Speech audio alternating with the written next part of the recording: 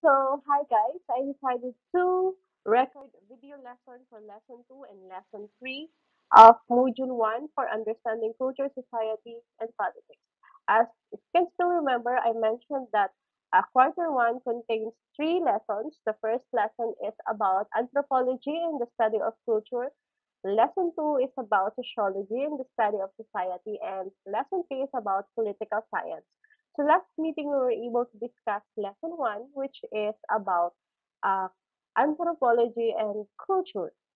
So today, let us now uh, try to discuss sociology in the study of society. If you need some clarifications or you have some questions, you can raise it up on our next meeting. We can discuss it among uh, the class, given the limited 40 minutes time. Okay, so most of the usual day-to-day life namin dati in our generation before you uh, includes inclination for reading bounded copies of novels. Mahilig kaming magbasa ng mga libro that time.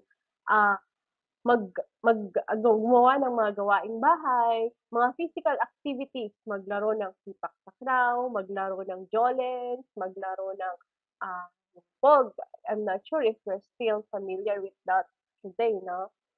Bonding with family members, sungka, yan. Those are our games before. Tumbang preso, yan. I'm not sure if you're still playing with with games like that today. As you can see, our day-to-day practice nowadays are quite different from the usual routine that we used to do. Today, we already have uh, Facebook, yan, may Netflix, may Instagram na, may TikTok, YouTube, vlogs, Mobile Legends, etc. These words are quite familiar, right? Students like you might have focused on posting various statements on social media sites. Nanonood kayo ng mga K-drama movies. You play online games. You dance to the trend and many more. This transformation in society manifests the trends of the time. Our behavior is being shaped by the society where we are in, and as a social being, we need to be flexible in order to adapt to this, to this societal changes. So, to know more on this, let us discuss in this lesson how our society affects an individual's social behavior as the focus of the discipline. Okay, our objectives for this lesson is to articulate the nature of sociology, its goals, and perspectives. Okay, so now let us define some important terms that we will encounter throughout the lesson and if you will try to read the module, you will encounter these terms. So the first term is the word sociology. When we say sociology, it is a behavioral science that deals with the study of society. If you can still remember, uh, during our first lesson, we define anthropology as the study of humans. So sociology is the study of society. And society is a group of people living together in a definite territory and sharing a common culture. A grupo sila ng mga tao na nagsama-sama sa isang territory na nag-share ng common culture. Sabi natin sa lesson natin, sa lesson 1, one characteristic of culture is that culture is shared. You remember that? We cannot say that that that this, that this behavior is part of of this society's culture if only one person is practicing that. Okay, because uh, a culture, one characteristic of culture is uh, it is being shared. Our next word is social behavior. So sabi, social behavior is a set of actions performed by individuals of the same species when they interact with each other. Ito yung mga actions, ito yung mga behavior ng mga tao sa isang grupo, sa isang society. Ano, kapag tayo ay makikisalamuha sa ating kapwa. Like, Naalala niyo dati, one of our culture, sabi ninyo, one of our behavior is that nagmamano tayo sa matatanda. Kasi that is part of our culture. So, lahat ng mga anak, nagmamano sila sa kanilang magula magulang. That is one example of social behavior. Our next term is social behavior, ah, societal norms, sorry. The behaviors naman that are considered acceptable in a group or society. Ito yung mga norms, ito yung mga behaviors, ito yung mga mga mo na uh, tanggap sa society kinabibilangan mo. Like, say for example, if you are a Catholic, ano, ano yung societal norms, dapat you know how to to do the sign of the cross. Yan. If you are naman uh, from a Pentecostal group, you know, it's it it is an acceptable uh, behavior to to pray in the name of Jesus at the end of your prayer. Yan. So that is one of the societal norms dun sa grupo na na yon. Okay. Our next term is theory. When we say theory, this is a statement or an approach that attempts to explain why certain things are the way they are. Now, so for this lesson, this shall cover the explanations focused on society, theories that are focused on society and the interaction processes taking place therein.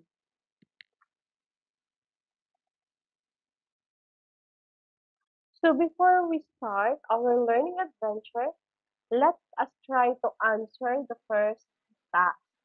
So this free will give you an overview of what you will learn as you go along the So you can get your notebook and numbered it uh, pen and paper and then numbered it 1 to 5 and then you state whether you agree or disagree to this uh, statement. So number one is that society shapes the social behavior of man. So do you think you agree or you disagree? Number two, just like culture, society is also a complex whole. Agree or disagree? Number three, sociological perspective highlights the importance of studying our society. Number three, sociological perspective highlights the importance of studying our society. Number four, the symbolic interaction theory states that each part of society has a function. And number five, the social conflict theory originated from Karl Marx's writing on class struggles. Yan. So let us try to check your answer if you got it right. Number one, sabi, society daw shapes the social behavior of man. So if your answer is agree, you are correct. So social society shapes the social behavior of man. That is correct. You, sh you should agree with that statement. Number two is, just like culture, society is also a complex whole. So if you agree in this statement, you are correct. So put a check on your paper. Number three, sociological perspective highlights the importance of studying our society. So if you agree in that statement, you are correct. Number four, the symbolic interaction interactionist theory states that each part of society has a function. If you agree in this statement, you are wrong. So the answer is that you should disagree. Number five, the social conflict theory originated from Karl Marx's writings on class struggles. This statement is correct, so you should agree. If you agree with this statement, if your answer is agree, you should mark your number five. So if you got five points, that's good. If you got one or two or three or four, that's okay because this is pre-test, as I mentioned before. It's okay to get zero from this because we will still be discussing this. So now let us um, discuss the study, uh, the, the definition that has defined sociology. So the focal point in the study of society is man's social behavior. Since his behavior, your behavior, my behavior, and his or her behavior is greatly shaped by the society where she or he belongs. So, 'di ba, our ang ang ating mga pag-uugali ay nahuhubog dahil sa kinabibilangan nating society.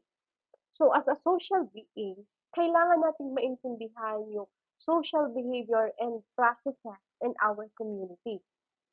To understand clearly our society, it is necessary to deal with the wide variety of social dimension, dimensions such as yung social change, social institutions, and social stratification, and other broad range of phenomenon that deal with the underlying recurring patterns of influence on social behavior. Thus, the branch of social science that is responsible no, for helping us understand the complexity of our society is sociology. Before, uh, the study of human behavior is anthropology. So now, the, the branch of social science that helps us deal with uh, the complexity, that helps us deal, that, that will help us understand the complexity of our society is sociology. So, sociology is a behavioral science that deals with the study of uh, society. So, it is from two Greek terms that is socios means group or partners, and then logos, which means study. So, okay, so same with culture, society has its characteristics as well. So, you remember we said that uh, in order for that culture to be considered a culture, it has to be this characteristic. Same goes with society. A group of people living together in, is considered to be a society if it has the following characteristics. Number one, it comprises a complex whole. Society is a complex whole because it is a social system. It's isang social system, no? As a complex whole, um, binubuo siya ng mga individuals or groups that interact in a relatively stable and patterned manner. A change in one group of individuals will affect the stability in the other parts of the whole system. Like, di ba, ma- ah, it, it comprises a complex whole because nagsasama-sama yung mga individuals or groups na there is somehow different about them, but they interact in a relatively stable and patterned manner. Walang conflict. Now, if one indi- if an individual or a group of individual, one group of individuals uh, has some sudden change, magkakaroon ng epekto yan sa stability ng whole system, no? So kaya siya sinasabing uh, once a society is being com- being composed uh, is a complex whole.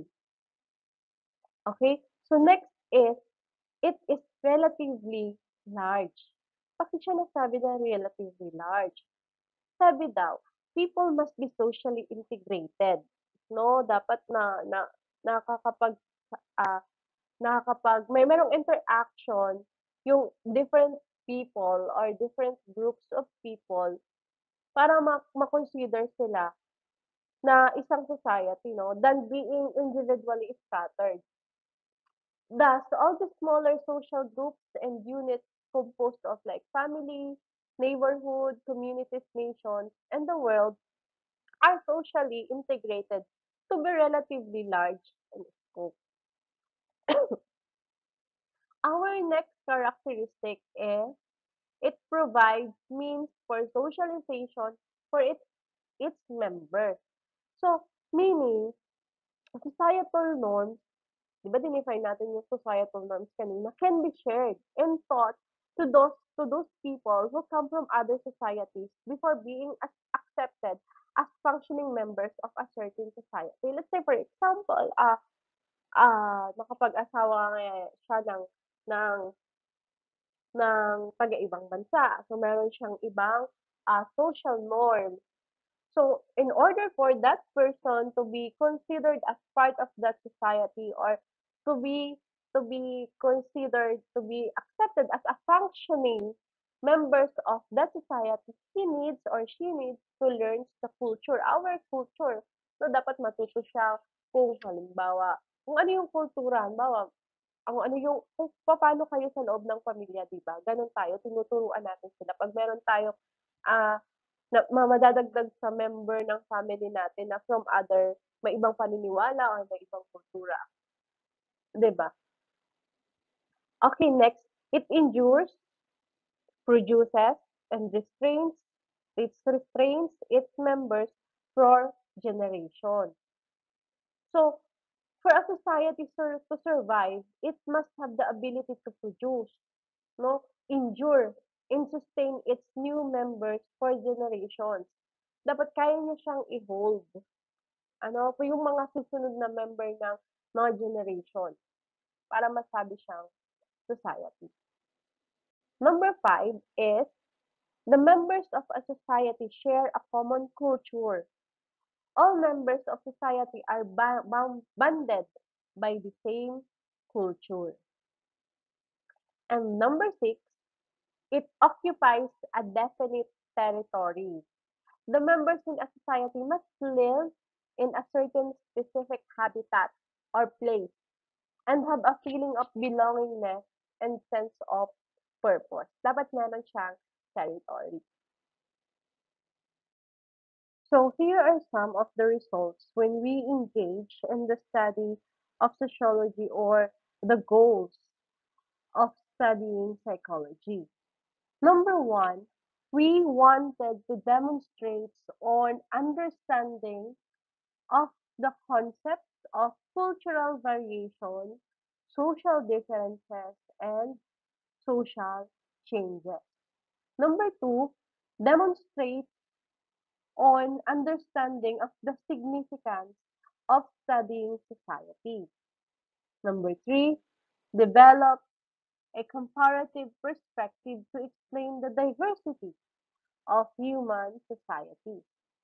And number four, describe how social structures and institutions operate.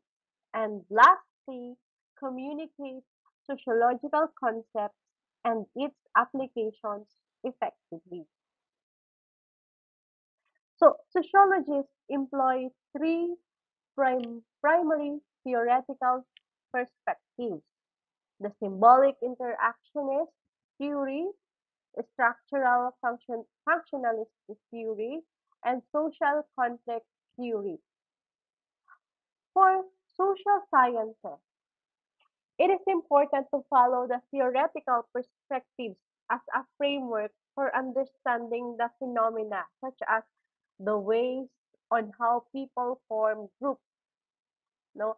Theories can provide us with explanations on the existence of society and the interaction processes taking place therein.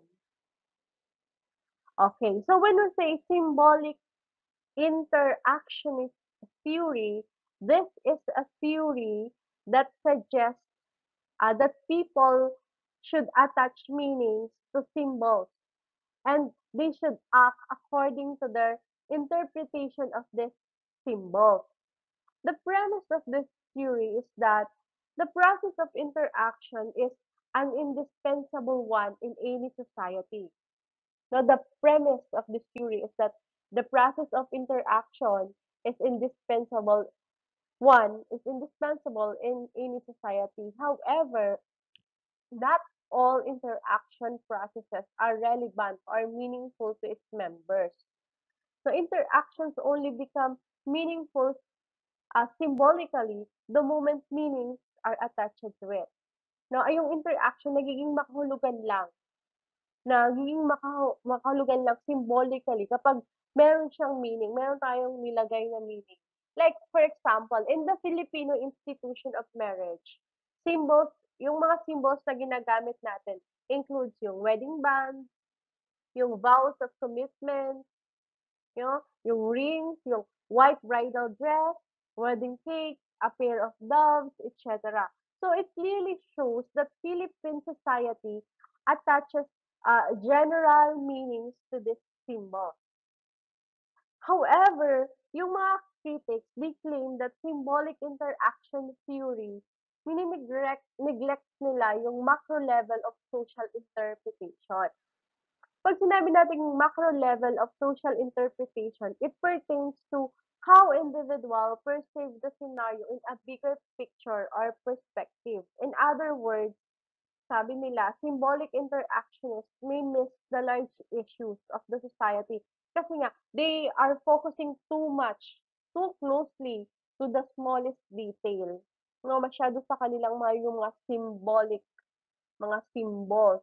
So, sabi ng sabi ng iba, maaring ma-miss yung bigger picture nung mga ah, symbolic interactionist kasi mas naka-focus sila sa detail. Hindi nila makikita yung ano ba yung malaking epekto nito, no? Pagdating naman sa structural functional theory, this is the second sociological perspective, uh, which is also known as functionalism. So the other term for structural functional theory is functionalism. This approach views society as a complex whole with an interconnected system wherein every part works together as a functional whole. So, parang every every part of the society must function no in order for that certain group to be called a society. Yung metaphor ni, nito is example of this, yung parang approach natin sa human body. We have arms, we have legs, we have we have uh, a heart, a brain, and so on. So every every part of our body, of the human body, has its own neurons and system for working. Pero each part has to work together for a fully functioning structure or system. No, para para tayo mabuhay, dapat yung lahat ng ating body functions mag-work together. 'di ba? So same with our society where all the institutions have their own functions, but they need to work together to achieve a common goal. Yan yung sa uh, functionalism theory. So, functionalists believe, naniniwala sila that society is held together by social consensus in which yung mga members of the society agree and work together to achieve what is best for the society as a whole. Parang sa kanila, if all goes well, the parts of the society produce order, stability, and productivity. No, however, if all does not go well, the parts of the society must adapt to recapture a new order, stability, and productivity. Like, ang example nito is during a financial recession with its high rates of unemployment and infl- inflation. No social programs are trimmed or cut. Parang schools mag-offer sila ng fewer programs, yung family mag mag mag magtitipid, no, 'di ba? So parang magkakaroon ng ng so another social uh, or like for example, ngayon business ngayon sobrang taas ng gasolina, so sa bahay puwedeng ah, magtitipid mo munang maglo-load, mga ganyan. Parang kung ang TV ninyo is prepaid, 'di muna tayo maglo-load this month para makatipid, ayan. Or kung dati ang nilo-load niyo is 350, ngayon 100 na lang. So that is an example of functionalism theory. Nagkakaroon nagkakaroon ng new social order because somehow, in some way, yung yung present na function, yung present na order doesn't work. So, uh, another one needs to be created. Okay, dito tayo sa last, the social conflict theory. The last sociological perspective is the social context theory. In this the- theory, yung society is being viewed as a competition of limited resources. This perspective is macro-level approach. Ka- ka- ka- kanina sabi natin doon sa symbolic interactional interactionist theory, parang may mga nag-uupos sa kanila. Yung nag-uupos sa kanila, ito yung mga naniniwala sa social context theory. Because ah yung mga naniniwala in this, ah, yung mga nasa social conflict theory kasi, yung perspective nila is macro, macro level ap- approach. No, this is mostly identified in the writings of the German philosopher and sociologist Karl Marx. Sabi niya, society being made up of individuals in different social classes must compete for social, material, and political resources such as yung food, yung housing, employment, education. Kailangan nating mag-compete for these resources. According to, to the context theories, the existence of these inequalities no, in a society usually have conflicting values and agenda. Ito yung nagiging dahilan kung bakit ah, we compete against one another. Now, however, social conflict theorists, ini-emphasize nila that such conflicts between individuals help them in motivating people in societies over time. Dahil daw dito sa mga competition for resources, mas namomotivate yung mga tao and yung societies, yung mga tao sa societies na mag-evolve over time. Because of this competition, like for example, because of competition in when it comes to employment, di ba? Yung mga kalaban mo marunong mag-computer. So, anong gagawin mo? So, you will, uh, you, the, the tendency is for you to adapt, to learn, diba? Para makasabay ka dun sa mga kakompetensya mo. So, those, these are the three theory, the three sociological perspectives when it comes to culture. Okay, so for practice, practice task one, what you need to do is, so by the way, you need a pen and paper for this, and what you need to do is to identify the terms being referred to in the following statements, yung 1 to 5, yung sagot, hanapin nyo dito sa box. Symbolic interaction, sociology, context theory, theory, Karl Marx, social norms, functionalism, and society. So, you can pause the video and then you can answer it in your paper and then resume the video and we can check if you got it right. Okay, so I think we're done. Number one answer is Karl Marx. Number two is functionalism. Number three is social norms. Number four, theory. Number five, symbolic interaction. If you got five points, congratulations. Okay, but if not, you can try, if if you want to, you can try to answer it again and to check your answer. Okay? Okay, for practice task two, the same thing, you need to answer this in your paper, numbers 1 to 10. And then what you need to do is to select the correct word from the highlighted words um, to complete the sentence. Like, for example, number one, the members in a society have a sense of purpose, happiness, territory. Okay, you may pause the video and then you can answer it in your paper and then uh, you can resume the video and we can check if you got this right. Okay, I think we're done. So number one's answer is the members in a society have a sense of purpose. Have a sense of purpose. So the answer is purpose. Number two, functionalists believe that society is held together by social consensus in which members of society agree upon and work together to achieve what is best for society as a whole. Number three, all members of the society must be bonded by the same culture. Number four, sociology is a behavioral science that deals with the study of society. Number five, people must be socially integrated to be considered relatively large than being individually scattered. Number six, for a society to survive, it must have the ability to produce, endure, and sustain its new members for generations. Number seven, accepted, I mean, number seven, societal norms can be shared and taught to those who come from other societies be- before being accepted as functioning members of a certain society. Number eight, society shapes human behavior. Number nine, a social conflict theory emphasizes how such conflicts between individuals improve in motivating people in societies to, to evolve over time. So, sagot. Number 10,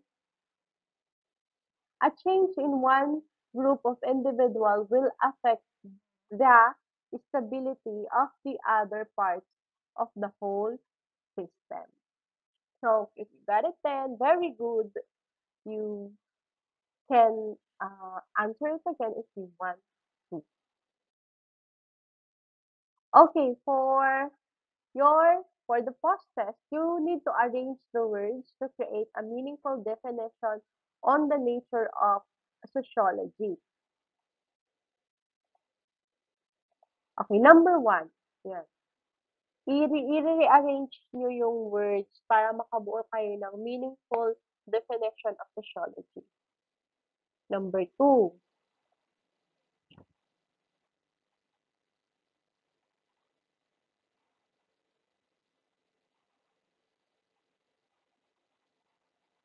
Number three.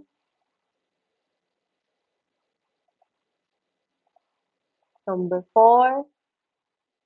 And number five. Okay, let us check your work. Let's see if you got it right. Number one, the answer should be society shapes the social behavior of man. Number two, people must be socially integrated to be considered relatively larger than being individually scattered. Number three, the members in a society must live in a certain specific habitat or place and have a common belongingness and sense of purpose. Number four, all members of the society must be bonded by the same culture. Number five, the focal point in the study of society is man's social behavior since his behavior is greatly shaped by the society where she or he belongs.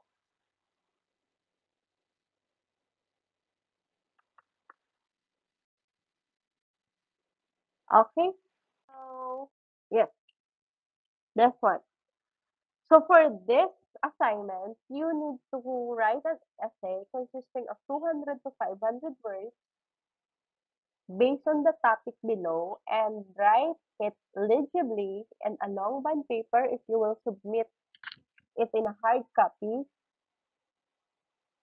But uh, you can type it in words and you can send uh, I mean, you need to submit it in a hard copy during our meeting. So Here's the topic or working title.